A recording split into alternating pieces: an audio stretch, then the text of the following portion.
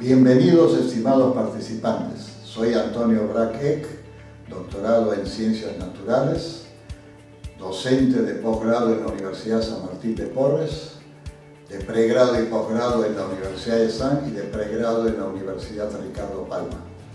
Vamos a llevar este curso a través del campus virtual de la Universidad San Martín de Porres, que consta con una serie de facilidades para facilitar el acceso a la información y al análisis de parte de los alumnos, como es el correo interno, chat, videoconferencias y una serie de materiales que llegarán a ustedes para mejorar sus estudios.